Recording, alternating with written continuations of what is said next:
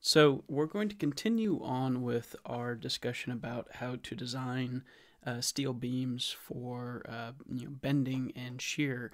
Um, and so the previous uh, videos we had, we looked at um, sort of the bending uh, capacity for both the section and uh, sort of the uh, for a given segment length. Um, and in this video, we're going to look at shear. This video is really going to be a sort of an introduction and overview uh, and sort of lay out where we're going to uh, go over the next series of videos, which will break down into a little bit smaller chunks. So when we're looking at shear, you know, there's really two conditions um, that we were interested in when it comes to uh, shear and steel members. So the first one is um, looking at shear flow.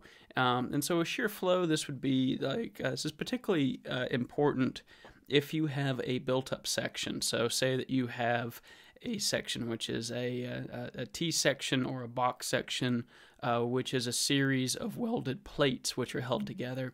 So we need to look at the shear flow um, at that interface to uh, determine what the um, sort of what, what size weld that we need.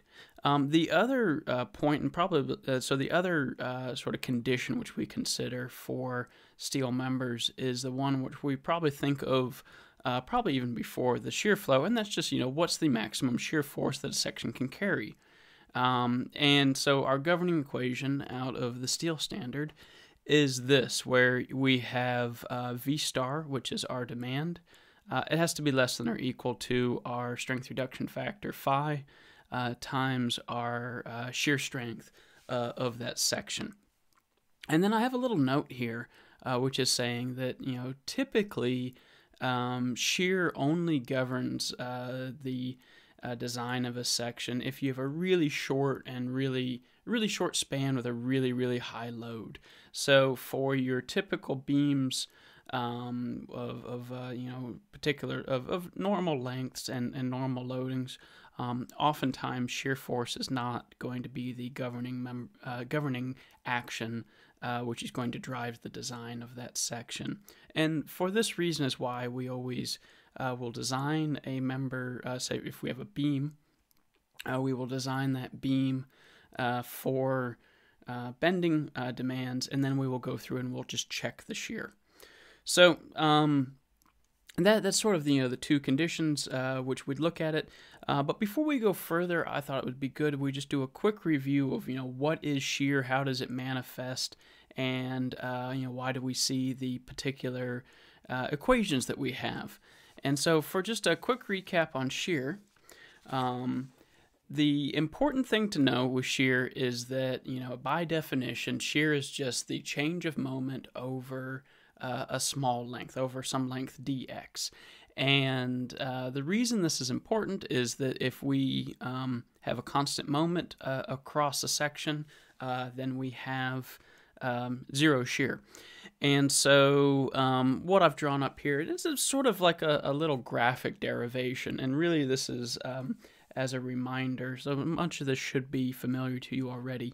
But say we have some beam um, and it has a, point load here. And so and then I've drawn the um, moment distribution over the length. And say I look at some small section, so this is say infinitesimally small. I've drawn it at a finite length, but uh, we've got some length dx, and at one end of uh, that beam, it has the moment demand of uh, m and then some uh, a little bit further way down it has the moment demand of m plus dm so some small uh, change in, in the moment here. So if we um, if we look at what the uh, stress distribution is over um, this uh, you know uh, section well it's going to have some bending stress. And if we assume that plane sections remain plane we'll have a, a ni- and that we haven't yielded yet we will have a nice um, linear behavior in our uh, bending stress distribution, this sigma here. And uh, we will have some parabolic shape for our uh, shear stress distribution. Um, with our bending, our maximum stress is at the extreme fibers, and for our shear stress, it is at the neutral axis. And so, you know, why is the uh, at the neutral axis? Well, And I've shaded in this little portion Y here. So say we take a, you know, if we have this little piece that we've cut out, and this is the cross section. Say I take another free body diagram at some depth Y. And uh, if I draw this, and this is sort of uh, looking down, oh, sort of looking uh, up uh, at the cut here. Well, because we have um, some, you know, distribution M on the side, this is kind of like we take uh, the um, free body diagram, uh, and so we take the stress distribution from just this portion up here. And on one side, you know, this will be, um, you know, triangular and then over the uh, width of the section, but it has some resultant force F. And then on the other side, well, because we've got M plus dm, it has some resultant force F plus some small little change uh, dF. Well, if we sum all of this up, well, this needs to be in equilibrium. Well, we, we have this discrepancy here. And so currently, if we don't have a force generating um, uh, at the cut, well, the little element will go this way. So that's how we get this um, uh, shear force here, which is dF, and that's going to equal our uh, shear stress, tau, uh, times the width of the member uh, times dx. And so this is um, you know, that's how we we get uh, shear in a in a member. And so I've drawn a rectangular section, but this is true for I sections, for channels, etc., etc. This is really any time that we have a, a, difference in bending stress across the length, we're going to generate a shear. Now, um, and, and that shear is going to be longitudinal. It's going to be down the length. So you know this these little arrows here, this little shear stress uh, is going to be uh, manifesting itself down the length. Well, again, because everything needs to be in equilibrium, if we have this longitudinal shear at the corner, well, that's going to generate, that's, we need a, a transverse shear uh, both here and then over here, uh, and these are in the opposite directions. Um, and that's what we need in order to keep this element um, sort of stable. And so this is why we get transverse shear uh, for, um, you know, simply from longitudinal uh, behaviors. Now, um, this is where, you know, and it's this factor here is what uh, brings up this shear flow. So, um, and, and, and this is where we will go in the next uh, few videos. Is one we'll look at how we uh, we take care of the shear flow, and then this maximum shear force we'll find out uh, it is uh, directly related to sort of our section geometries and what the uh, shear stress distribution is uh, along the height there. So, um, in terms of when we're looking at, um, you know, designing for shear, i have got some, you know, four important things to note uh, when we're looking at shear. So uh, the first one is that shear is zero uh, at a free surface. So if we go back to our little free body diagram, uh, here at the top, um, so this is a free surface, uh, we have shear zero. Uh, that makes sense. Shearing uh, you need you know two elements rubbing across each other. So you can think of shear if you've got your hands here and you're moving them back and forth, you're going to generate some friction. That friction is analogous to your shear, but you're only going to feel it on your palms. You don't feel anything on the back of your hand. So that's the free surface, and so you know that makes some intuitive sense. Um, the other one is that, uh, just like we said with our little free body diagram, um, our transverse shear is a result of our longitudinal shear. So this transverse shear, which is manifesting itself uh, here and here, is really a result from this longitudinal shear, which is a result from this unbalanced uh, force, which is uh, you know due to this change in moment. And like I said before, uh, this is a a big deal when it comes to built-up sections and looking at you know what the particularly say the demand on a weld would be. Um, the other one is that shear stress is a maximum at the neutral axis, and uh, we use um, sort of uh, this factor as well as the um, shear stress distribution being a function of the geometry, uh, really to dictate how we determine the shear capacity of a given section. So, in terms of you know geometry here, uh, I've got a few sort of uh, drawn um, here. So you know, there if we have a rectangular cross section, and so you can see I've got a little red arrow uh, which is denoting the um, you know which direction the load is being applied. So for a rectangular cross section, you can see we have this parabolic um, shear stress distribution. Um, for a T section, uh, also parabolic, but then we have the uh, the flanges are linear, and so this is all and same uh, with all of uh, the other elements which have uh, portions of the section which are perpendicular to the applied load. Um, this is coming straight out of uh, shear flow, um, and so we won't go over shear flow. I assume that you've already uh, been exposed to it previously, um, and this is really just kind of to remind you uh, of some of these shear stress distributions. So, but where this is um, important is when in design, really what we want to do is first we want to determine whether you know little portions are going of the of the webs are going to buckle before uh, we yield.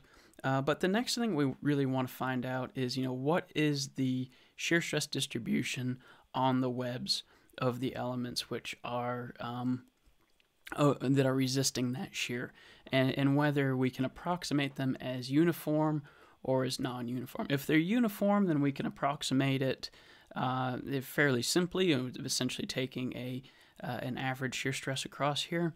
Um, if they're non-uniform, we need to have some factor uh, which um, sort of uh, accounts for that. Uh, one point, so a, a, couple points of, of interest here. Um, you can see with the, the I section and the H section, uh, nominally the same section, just one has been rotated 90 degrees, and that rotation will really dictate uh, sort of what that shear stress distribution. So when uh, the force is parallel to the web, um, because the the doubly symmetric uh, section of the flanges, top and bottom, really for sort of force the um, shear stress distribution in that web to be more or less um, equal uh, from where it starts to its maximum at the neutral axis. Uh, if we turn that 90 degrees and we're, uh, say, pushing about the weak axis of this section, uh, and so turning it from sort of an I into an H, uh, what you find is that it's really acting kind of like two little separate rectangles, which are just connected because the um, uh, so now the flanges are what are resisting that shear, and you'll see that you know this web because it's turned horizontal and it's right on the neutral axis, um, it actually ends up taking uh, zero shear stress. Uh, the other interesting one is a circular hollow section. So if you are bending a, uh, a pipe, um, it is a, you know, it's got kind of this funny, um, almost bat winged uh, style, um, uh, you know, shear stress distribution. So, um, we, you know, we, we approximate this as uniform, and really what the uh, standard does is it forces you to cut off um, the uh, you know, sort of the amount which of the section which you can rely on to something of kind of these uh, you know just these quarter points here um, which approximate the web. So um, when we are um, you know as I've alluded to previously uh, when we're looking for uh, shear stress uh, what we'll do is we'll look for the following um, let's move this over here um, first, uh, you know, if we have a built-up section, we need to see make sure that the uh, the welds are going to hold, and we do that from longitudinal shear flow, and that's our equation for longitudinal shear flow. Just uh, small q equals the applied shear uh, times first moment area of the uh, portion above um, the uh, the location of interest divided by the moment of inertia. And then um, if we're just simply looking at the capacity of a section, the first thing we want to do is determine if the portions which are uh, resisting that shear, um, we need to check their slenderness and see if they will buckle um, before they reach plasticity um, or, or if they will reach the full plastic section. If they reach the full plastic section, we, we call them a stocky web. Uh, if they don't, there's a slender web. And then based upon uh, essentially which category these are, uh, we look and see what the shear stress distribution is, whether it's uniform or non-uniform, uh, and then we we choose the appropriate equation for each. And all of those equations are essentially some modification of um, you know our ideal case where we have a uh, uniform distribution and a stocky section. So um, that is the uh, you know sort of our overview for uh, how we design for shear stress. Um, and uh, we'll have a, a, series of videos uh, which will um, one either be example videos looking at this or um, we'll walk through some of these code equations um, in, in, a bit more detail. So uh, thank you for watching.